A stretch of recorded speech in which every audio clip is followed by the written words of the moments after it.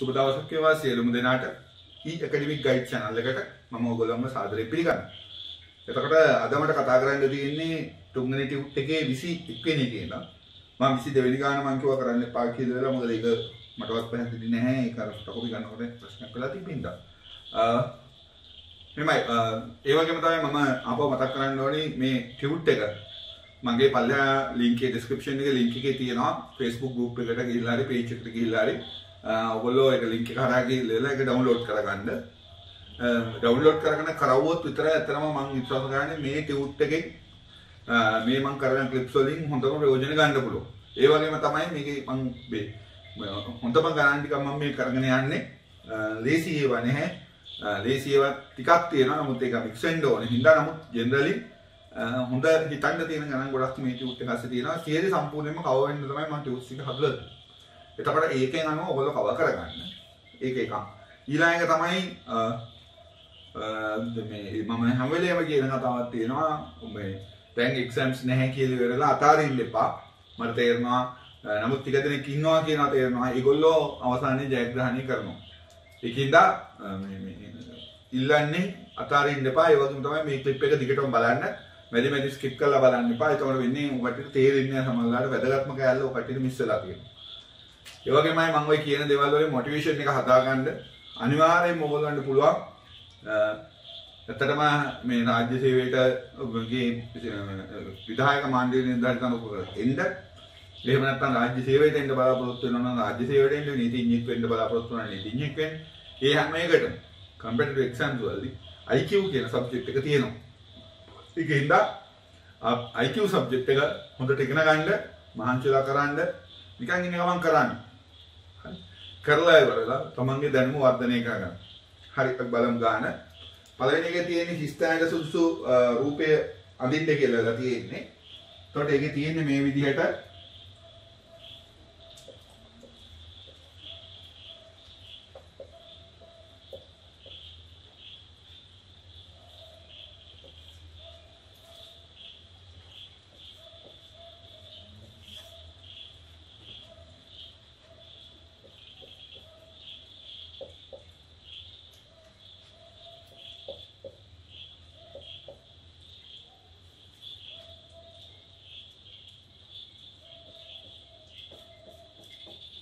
මේක ලේසි එච්චර අමාරු නැහැ. මේක ඉස්සරහම ඔයගොල්ලෝ හිතන්න බලන්න මේකේ මේ මේ රූප වෙනස් වෙලා තියෙන්නේ කොහොමද කියලා. රවුම, ත්‍රිකෝණය, අලුව කැටේ, ආපව රවුම මේ විදිහට ගිහින් තියෙන්නේ. එහෙමනම් මෙතෙන් දෙන්න ඕන රූපේ මොකක්ද? අනිවාර්යයෙන්ම ත්‍රිකෝණය. මම ත්‍රිකෝණය ගත්තා. අරගෙන ඉවරලා හිතන්නේ ඊළඟට කොහොමද මේ ඉරි වෙනස් වෙලා තියෙන්නේ කියලා. හරහට දිගට හරහට දිගට එහෙමනම් මේකේ එන්න ඕන උත්තරේ මේක.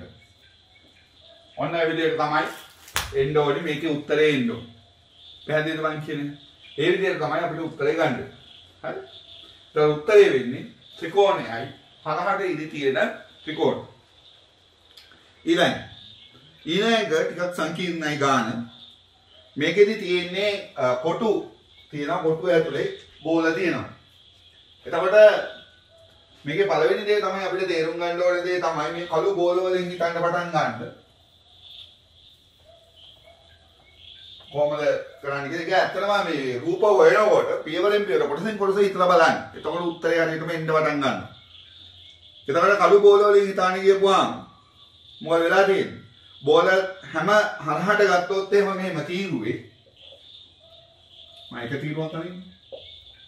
මෙහෙම තිබ්බොත් එහෙම හැම වෙලාවෙම කළු බෝල ටික මම යන්නේ බෝල දෙකයි බෝල දෙකයි එක බෝලේ ගිහිල්ලා හරි. තියෙන විදිහට නෙමෙයි ඇන්දේ. නමුත් තියෙන බෝල සංඛ්‍යාවත් එක්ක මම අදින්නේ අලු බෝල මේ විදිහට බෝල දෙකයි බෝල දෙකයි එක බෝලේ තියෙන්නේ. එතන දෙවෙනි තීරුවෙත් තියෙනවා. බෝල දෙකයි බෝල දෙකයි එක බෝලයයි බෝල දෙකයි බෝල දෙකයි තියෙනවා. හරි. එතකොට තුන්වෙනි තීරුවේ ඉන කොටුවට එන්න ඕනේ. පළවෙනි දේ තමයි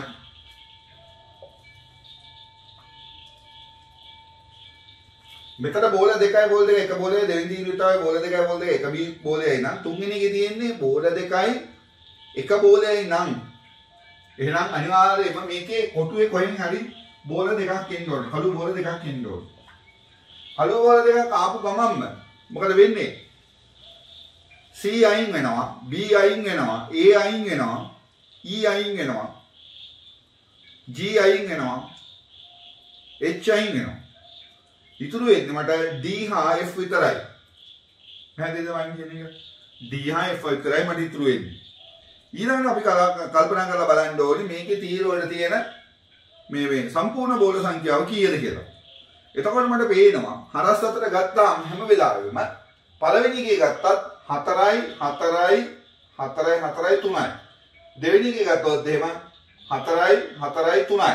ඒ කියන්නේ මොකද වෙලා තියෙන්නේ? මේ කොටුවල කොහේ හරි බෝල සංඛ්‍යාව දෙකක් තියෙනවා ලොකු සංඛ්‍යාවක් ඊට වඩා එකක් අඩු සංඛ්‍යාවක් තමයි ඊළඟට තියෙන්නේ. එහෙමනම් මේකේ බලන්න අනිත් පැත්තට කොහොම සම්බන්ධයක් ගන්න තියනවද කියලා වෙලා.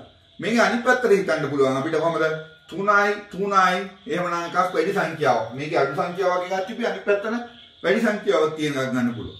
එතකොට උත්තරේ එන්නේ F. උත්තරේ එන්නේ F.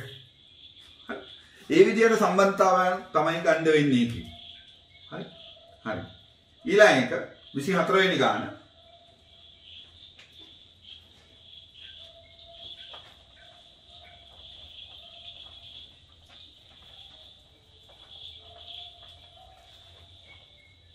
බලන්න 24 වෙනි ගාන.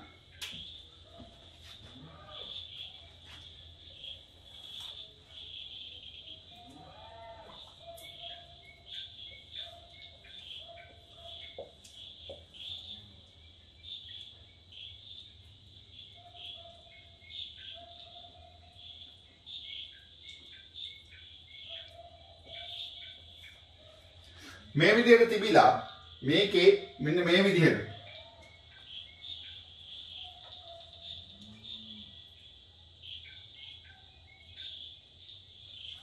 ඔන්න ඔය විදිහට මොකක් හරි ඒ වගේ ගුඩාම බෝලයක් හා ඊට වඩා චුට්ටක් ලොකු බෝල තුනක් අතර සම්බන්ධතාවයක් ඇති කරගෙන තියෙනවා. මේකේ වෙලා තියෙන දේ තමයි මතක තියාගන්න හැම වෙලාවෙම මේ යුගල විදියට හැදිලා තියෙනවා. ඔකට ටියුට් එක බැලුවොත් පේන්නේ ටියුට් එක බලන්න නැත්නම් මේක තේරෙන්නේ නැහැ මේ මොකද්ද මේ කරන්නේ මු කියලා වෙලා. ටියුට් එකේ තියෙන දේ තමයි මේකේ තියෙන එකේ මේකේ යුගල හයක් හැදිලා තියෙනවා. යුගල තුනක් සෝරි යුගල තුනක් හැදිලා තියෙනවා. එතකොට කැලි හයක් අයින් වෙනවා. එතකොට මේකේ අන්තිමට ඉතුරු වෙන එක තමයි මට නම් පේන්නේ මෙන්න මේක. මැදින්ම තියෙන එක ඒ කියන්නේ යටට මේක ඇවිල්ලා ඔන්න ඔහොම එකක් තමයි අන්තිමට ඉතුරු වෙලා තියෙන්නේ. මෙන්න මේකට විතරයි යුගලයක් නැත්තේ. අනිත් අතට තියෙන දේ තමයි මේ යුගල හැදෙනකොට මොකද වෙන්නේ? හැම වෙලාවෙම යුගල හැදෙනකොට හැදෙන්නේ පාර්ශ්වික අපවර්තනය. කියන්නේ ප්‍රතිවිරුද්ධ විදිහට තමයි අනිත් යුගලේ හැදිලා තියෙන්නේ. මේ පැත්තට මේකේ තිබ්බ ගමන්ම මෙතන තිබ්බ ගමන් මේ කැල්ල මෙහාට ඇවිල්ලා තියෙනවා ඊළඟ එකේ යුගලේ. ඒ කියන්නේ ඒකේ යුගලේ වෙන්නේ කොහකද? මේකේ තියෙනවා මෙන්න මේ විදිහ එකක්. මේ මෙහෙම එකක් තියෙනවා.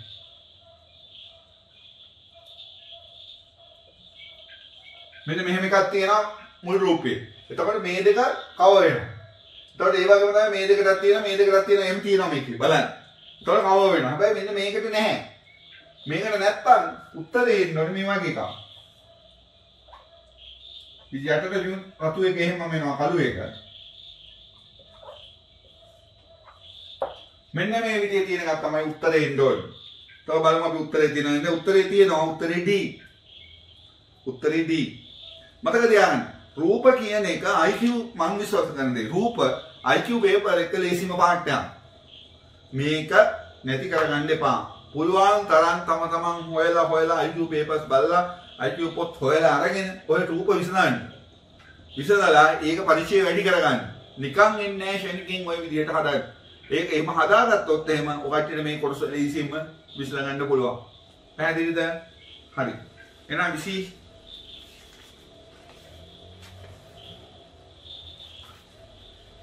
25 වෙනි එක බලන්න. නොකල්පන වචනෙන් රැටින් ඉරක් අඳින්න කියලා කියනවා. LP ගෑස්, දර, khනිජ තෙල්, දහ තෙල්, වාතය, ඩයිනමයිට්. මොකක්ද උත්තරේ? උත්තරේ වෙන්නේ වාතය. ඇයි ඒ?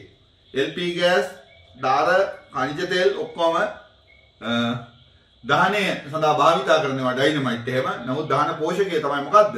වාතය. ඒතකොට උත්තරේ වෙන්නේ වාතය. අධ්‍යක්ෂක, තානාපති, කතානායක, මහා කොමසාරිස්, කොමසාරිස්. මොකක්ද උත්තරේ? උත්තරේ ඉන්නේ කතානායක. අනිත් ඒවා ඔක්කොම ප්‍රොෆෙෂනල්ස්ලා. විදියටපත් වෙන්නේ ගොඩක් වෙලාවට. හරි තානාපති විදියටත් පත් වෙන්නේ නමුත් ඒක ඡන්දයකින් පත් කරන දෙයක් නෙවෙයි තානාපති. නමුත් කතානායක කියන එක ඡන්දයකින් පත් කරනවා. ඒකෙන් ද උත්තරේ වෙන්නේ කතානායක. ඊළඟ 27 වෙනි එක නෞකාව බස්රිය දුම්රිය ගුවන් යානයේ මෝටර් රථය. මොකක්ද? නෞකාව බස්රිය දුම්රිය දුම්රිය ගුවන් යානයේ මෝටර් රථය. උත්තරේ වෙන්නේ මෝටර් රථය. ඇයි අනිත ඔක්කොම දැන් මෝටර් රථයේ උපරිම යන්න පුළුවන් පහක් නැත්නම් හයක්. නමුත් අරවා අනිත් ඔක්කොම පොදු ප්‍රවාහන සේවා විදිහට ගන්න මෝටර් රථ අපේ ලංකාවේ සාමාන්‍ය පොදු රේ ප්‍රධාන සතම වෙන්නේ නැහනේ. ටැක්සි අර. නමුත් ජෙනරලි ගන්න තියෙන උත්තරේ මෝටර් රථය. දිගු දුරදාවකයා යගුලිය විසි කරන්නා පිතිකරු බර ඔසවන්නා උස පනින්න. මොකද? උත්තරය පිතිකාරු මොකද ඒක ක්‍රිකට් ක්‍රීඩාව සම්බන්ධ එකක්. අනිත් හැම එකක්ම ජවනහා පිටිය. ඒවට සම්බන්ධ ඒවා. ඒකද උත්තරේ වෙන්නේ පිටිකරු. කතාව කලාකෘතිය නාට්‍ය සිනමාපටිය කාව්‍ය. උත්තරේ ඉන්නේ කලාකෘතිය. මොකද කලාකෘතිය කියන්නේ මේ සියල්ලගේම එකතුවක්. ඕනම එකක් මේකේ කලාකෘතිය බවට පොදු නාමයේ විදිහට අපිට දාන්න පුළුවන්. ඊළඟ සමාන වචන යුගල් අතරින් ඇති සම්බන්ධතාවය සොයා යටින් ඉරක් අඳින්න කියලා කියනවා. ගෙම්බා උභයජීවි කොටියා කැලය ඔටුවා කාන්තාරය වවුලා ශීරබායි තල්මසා ජලය මිනිසා නිවස මොකක්ද මේක ඇත්තටම උත්තරයක් නැහැ. නියම උත්තරේ එන්න ඕනේ. දෙනවා ජලචර කියන එක. කල්මසා ජලචර කියන එක තමයි එන්න ඕන උත්තරේ. නියම උත්තරේ. ඉතින් හැම එකටම උත්තර ලකුණු හම්බ වෙනවා. හැබැයි උත්තරේ එන්නේ කල්මසා ජලචර කියන එක. ඊළඟ. වත්සුණු සුවඳ. මේ පැණි රස පීගුතු ප්‍රෝටීන ගීත ශ්‍රවණය පොත දැනුම තෙල් ආලපනය. උත්තරේ තමයි මී පැණි රස කියන එක. නැන්දම්මා ලේලි. නැන්දම්මා ලේලි මාමා ලේලි පුත මුණුපුරා මිනිබිරිය පුතා බෑනා වඳුරා වැඳිරිය තාත්තා මුත්තා. මොකක්ද දෙන්න ඕන? නැන්දම්මා ලේලි කිව්වොත් එහෙම වඩාත්ම ගැලපෙන එක තමයි නැන්දම්මා ලේලි පුතා බෑනා. උත්තරේනේ මාමා ලේලි වඩාත්ම ගැලපෙන එක තමයි මාමා ලේලි පුතා බෑනා නැන්දම්මා ලේලි පුතා බෑනා කිව්වොත් දෙකම එක මට්ටමින් යන්නේ. කියන්නේ බෑනටම කියන එකක් නේ පුතා කියන්නේ. ඒකින්දයි කියන්නේ.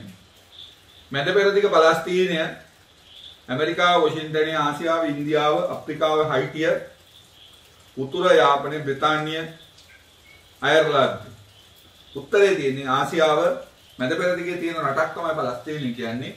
එතකොට මේකේ ඉන්නේ උත්තරේ මොකද්ද? ආසියාව, ඉන්දියාව. නාවික හමුදාව ආරක්ෂාව වෛද්‍යවරු බෙහෙත් දීම, වෙළඳපොළ වෙළඳාම පාර්ලිමේන්තුව රැස්වීම පොලිසිය නඩු ඇසීම ඔක වඩාත්ම ගැලපෙන උත්තරය වෙන්නේ දුම්රිය සේවය ගමනාගමනයෙන් කියන එක. එතකොට මේ වෙළඳපොළ වෙළඳාම කියන එක වෙළඳවලක් වෙළඳාම කරනවා. එකත් වඩාත් කිට්ටුයි. නමුත් වඩාත්ම ගැලපෙන එක වෙන්නේ දුම්රිය සේවය ගමනාගමනය කියන එක තමයි වඩාත්ම ගැලපෙන උත්තරය විදිහට ගන්න. එතකොට මේ ටික අද එතකොට මම කතා කරලා ප්‍රශ්න විසි එකේ නම් විසි එකේ නම් 35 වෙනකම් ප්‍රශ්න ටික කතා කරලා මේ ප්‍රශ්න පත්‍රයේ මේ ටික ලේසි.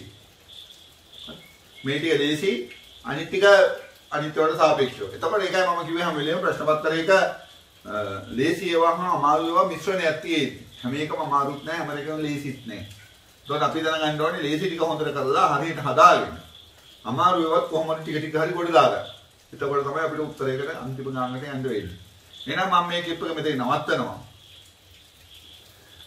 ආපෞතරය මම මතක් කරන්නේ කම්පිටිටිව් එක්සෑම් කියන්නේ ජීවිතය වෙනස් කරනවා. ඔබ සමට සුබ දවසක්.